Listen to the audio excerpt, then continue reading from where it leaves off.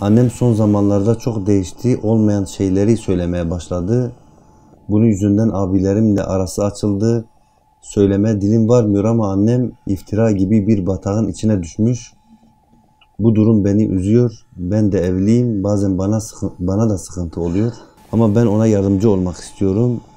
Mürşidimizden dua bekliyorum. Annem beni yaksa belki bu kadar. Belki yanmam. Sizleri çok seviyoruz. Allah razı olsun. Kardeşimize selam olsun. Gerçekten zor bir şey. Zahiri olarak sıkıntılar yaşanabilir ama eğer biri bir de bize en yakın olan olanlar eğer kaybediyorsa bu çok ağır, çok acı bir şeydir. Hele iftira gibi böyle yanlış şeyler yapılıyorsa bunun hesabı çok ağırdır. Elbette ki bunun bir sebebi olmalıdır. Nedir sebep? Terbiye olmamış nefis şeytana uyuyor. Hatta öyle ki şeytanın verdiği vesveseyi sanki doğruymuş gibi zannediyor. Şeytan vesvese veriyor, o da bunları söylüyor, sanki doğruymuş gibi. Böyle bir durumda evet, elbette ki annemize kızmak doğru değildir. Kızmak aynı zamanda bir fayda vermez. Yapılması gereken şey kızmak değildir. Ona yardım etmeye çalışmaktır. İzah edip anlatmaya çalışmaktır. Bununla beraber ona hesabı göstermektir.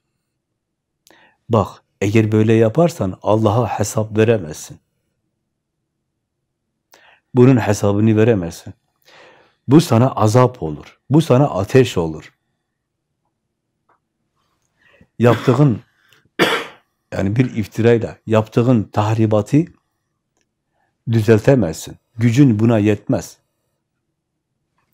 Onun için evet, annemize söylememiz lazım. Sana düşen Allah'ın hesabını yapmaktır.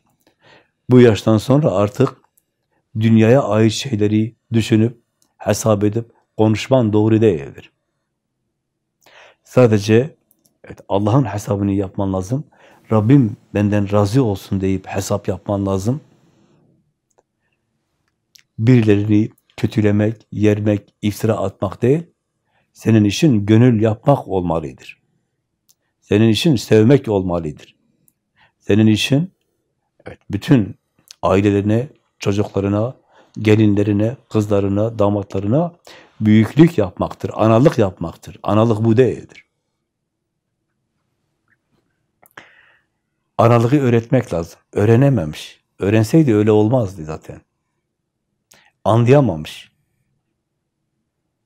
Ben demekten kurtulamamış. Ben demekten kurtulup evladım diyememiş. Ana olamamış. Sorun burada aslında. Evet. Hesabı Allah'a göre değil, kendine göre yapmış. Elbette ki onu yaparken bile kendine göre doğru yapıyor. Evet, doğrunun, hakkın yaranda değil, doğruda olduğunu öğretmek lazım. Tehlike doğruda görünse bile, evet öyle buyurdu Resulullah Efendimiz, doğruda tehlike olmaz. Tehlike yalandadır. Doğru tehlikede de olsa, tehlike doğruda da olsa doğruyu söyleyin dedi. Aynı zamanda bu Allah'ın emridir. Bunu anlamayınca böyle. Kendi kendimize doğru zannettiklerimizi e, söyleriz. Hatta yalan bir de iftira. Bu çok ağır bir şey. Allah kardeşimize, kardeşlerimize yardım etsin inşallah. Kardeşlerimiz de inşallah analarına böyle yardımcı olmaya çalışırlar. Mesele yaptığı yanlış ya da tahribat değil, onu görmesinler. Onun ebediyen kaybettiğini göz göre göre seyredip onu öyle bırakmasınlar. Yardımcı olsunlar. Bütün kardeşler yardımcı olsun. Evlatları yardımcı olsun ki analarıdır. Analık hakkıdır. Eğer son zamanlarda dediyse belki aklında bir sorun, sıkıntı yaşıyordur. Yaşandığından dolayı. Evet, mutlaka yardıma ihtiyacı var. mutlaka kardeşlerimizin analarına yardım etmeleri gerekir. Anaları onlar küçükken nasıl yardım ettiyse şimdi de yardım sırası onlardadır. Yoksa böyle yermekle, yanlış yapıyor demekle, e, ona kızmakla ona yardım etmiş olmazlar. Hakkını da vermiş olmazlar. Mutlaka yardım etmeleri gerekir. Evet. Allah yardımcıları olsun. Böyle durumda Allah e, kardeşlerimiz de e, o yardımı yapmaya çalışmaları lazım. Evet.